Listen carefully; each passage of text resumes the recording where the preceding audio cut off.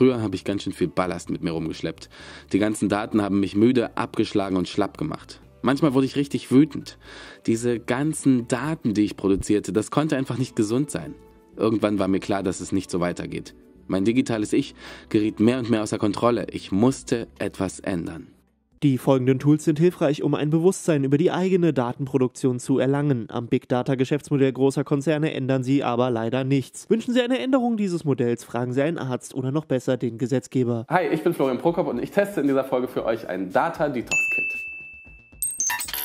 Das ist doch krass. Ich gucke mir einmal einen Pullover im Netz an und dann ist der überall, wo ich hinsurfe und immer soll ich diesen Pullover kaufen. Immer wenn ich daran erinnert, kauf den Pullover, kauf den Pullover, kauf den Pullover. Und was auch ein bisschen peinlich ist, also ich meine, manchmal googelt man ja so Sachen nachts, ne? jetzt will ich halt auch nicht, dass das jeder sieht. Und vor allem sieht es halt auch Google, die speichern ja alles sowieso. Das Internet vergisst nie. Also bin schon froh, dass wir jetzt mal dieses Data Detox machen.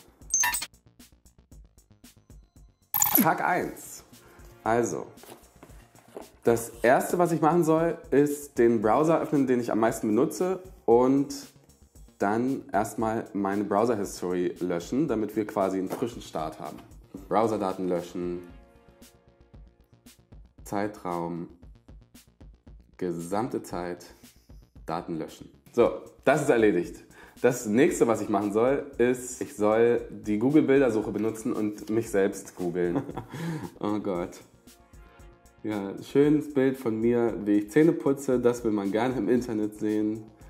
Es gibt Kinderbilder von mir, uralte Kinderbilder, die sind einfach für jedem kann man die im Netz sehen. Das ist schon ganz schön. Hier ist noch, wie kann das sein, dass hier so ein, so ein Bild von mir einfach im Internet ist? Jetzt kann man hier nämlich gucken, auf welcher Seite das ist. Und was ich jetzt machen kann, ist, ich kann hier hoffentlich rausfinden, von wem die Seite ist und dann die bitten, Florian Prokop als Kind 03.jpg zu löschen. Weil das ist mir ganz schön privat, ich möchte nicht, dass das hier drauf ist. Welche Möglichkeiten hast du jetzt, wenn du ein Bild findest, das von dir ist und was du nicht mehr im Internet sehen willst? Du kannst es entweder selbst löschen, du fragst den Betreiber der Webseite, auf der du es gefunden hast, du kannst die Person über Social Media kontaktieren, die dich verteckt hat, oder du benutzt das Google-Formular Recht auf Vergessen. Tag 2. Heute geht's um Google und äh, ich werde mal rausfinden, wie sehr Google mein BFF Forever ist. Man kann nämlich bei Google einsehen, was man alles so den ganzen Tag auf Google treibt. Dazu geht man einfach auf My Activity von Google und jetzt sieht man, obwohl ich meine Browser-Daten gelöscht habe, das hat damit nämlich gar nichts zu tun, dass ich zum Beispiel hier gesucht habe, wie ich Kaugummi aus Haaren entfernen kann, wie ich Caro meine Liebe gestehe, ob mit Pflanzen sprechen sinnvoll ist. Man sieht, dass ich ähm, eine Location gesucht habe und wo ich, wo ich also hinfahren wollte, hier in welche Bars ich an dem Abend wollte, dass ich Yoga machen wollte oder Yoga gemacht habe. Also man sieht so viel und der Witz ist, das ist noch nicht mal alles. Wenn ich wirklich genau wissen will, was Google über mich weiß, dann muss ich eine offizielle Anfrage an die stellen. Aber Google ist natürlich nicht die einzige Suchmaschine, das denkt man immer nur. Aber es gibt Alternativen. DuckDuckGo ist eine Suchmaschine, die mich nicht trackt. Willkommen zu Tag 3. Tag 3, da geht es um meine sozialen Medien. Wie gut kennt Facebook mich? Dazu habe ich ein Add-on installiert, das heißt What Facebook Thinks You Like. Und das gucke ich mir jetzt mal an. Was denkt Facebook was ich mag. Und jetzt kann ich mir nämlich hier anschauen, was sich alles geliked hat. Und das nimmt Facebook ja zur Grundlage, mir Werbeanzeigen zu geben. Und ich bin ein großer Fan, denkt Facebook, von Donald Trump, äh, von Josh Thomas, wobei das stimmt, der ist cool. Ich mag Chelsea Handler. Also es ist schon krass, wenn man mal so gebündelt sieht, was man Facebook alles gefüttert hat, wofür man steht, von wem man Fan ist, wen man mag. Schauen wir mal unter Hobbys und Activities, was da so bei mir los ist. Also ich mag Autos, und Abitur, Zahnseide. Ich nutze Zahnseide, aber ich bin wirklich total uninteressiert an Zahnseide. Und diese ganzen Daten werden ja benutzt, um Werbung genau auf mich zuzuschneiden, damit das, was ich kaufen würde, mir im richtigen Moment angezeigt wird. Facebook erhebt eine Menge Daten über euch. Ne? Die können dadurch echt viel voraussagen. Zum Beispiel auch, wann ihr euch verliebt. Zumindest haben die das in einer Studie von 2014 behauptet. Tag 4. Heute geht es um das ganz normale Surfen, denn auch im Browser werden Daten von euch gesammelt. Über Tracker wird zum Beispiel aufgezeichnet, wann ihr wohin surft, wo ihr hinklickt, wie eure IP-Adresse ist.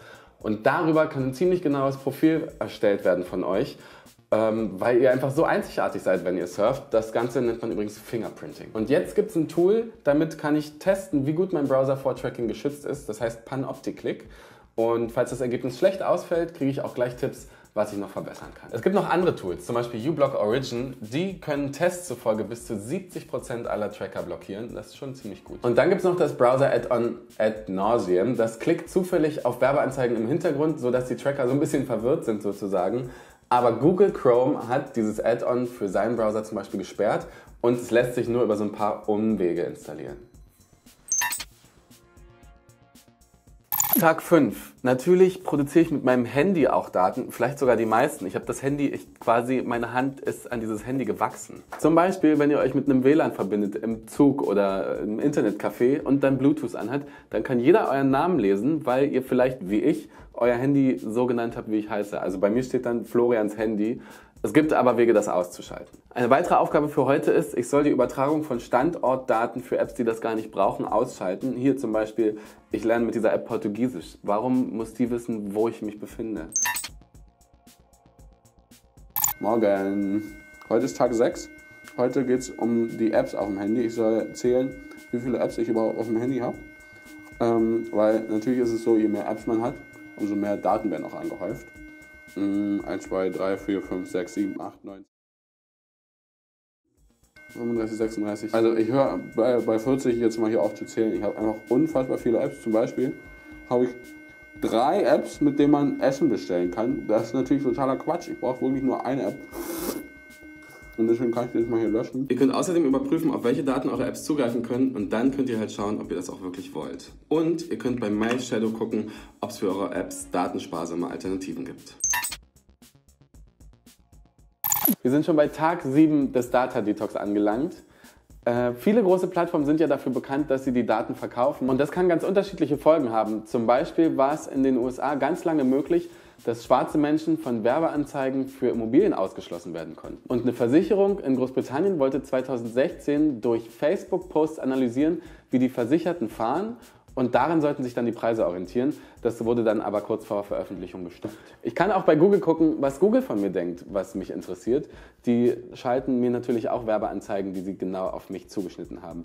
Zum Beispiel hier weiß Google, ich mag Bücher und Literatur, ich mag Katzen, Computer und Elektronikartikel, aber halt zum Beispiel auch so Sachen wie Beauty und Fitness. Ihr könnt euch außerdem mal überlegen, wie viele Nutzungsbedingungen ihr schon zugestimmt habt, ohne die überhaupt zu lesen. Alleine die AGBs vom Kindle von Amazon durchzulesen, dauert neun Stunden. Ich hätte ja eigentlich gedacht, dass ich ganz gut weiß, was ich so an Daten produziere, aber jetzt in den ganzen acht Tagen habe ich gemerkt, dass da echt eine Menge zusammenkommt, wo man gar nicht so den Überblick hat. Ich nehme mir auf jeden Fall vor, das jetzt öfter mal zu machen. Und also ich meine, ich habe jetzt wirklich getan, was ich konnte, um hier Data Detox zu machen, aber um wirklich was zu verändern, musste halt eigentlich auch von politischer Seite was passieren. Ich hoffe natürlich, ich konnte ein paar von euch überzeugen, auch mal ein bisschen besser auf die Daten acht zu geben. Seit ich das Data Detox Kit benutzt habe und acht Tage gefastet habe, geht es mir viel besser. Ich habe viel reinere Haut und auch deutlich besseren Sex. Ich schlafe besser und komme morgens viel schneller aus dem Bett. Danke, Data Detox.